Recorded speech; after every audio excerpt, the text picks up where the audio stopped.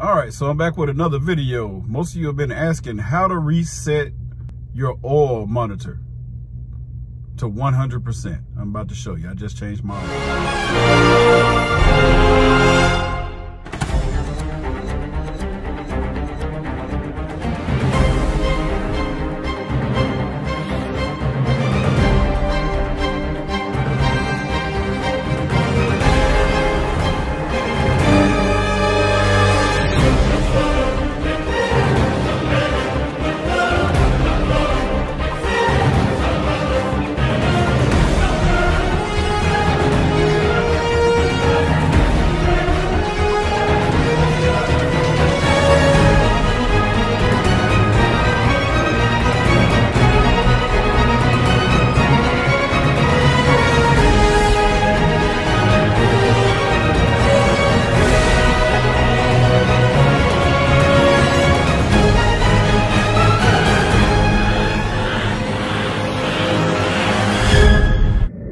right, I'm gonna hold it back here so you can see exactly what I'm doing. Let me go all the way back.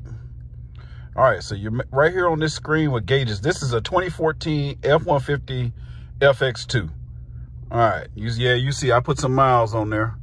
I bought this truck used and I think it had like 60,000 miles on it I've been rolling. Anyway, uh, you wanna come down to settings. Go over and you want to come down to vehicle, which this is the down button. All right. Once you get to vehicle, you know, this is your over button. So when I'm saying left, right, left, right, up, down, whatever, you know what I'm talking about. So now you want to go to the right. You want to come all the way down until you see oil life reset.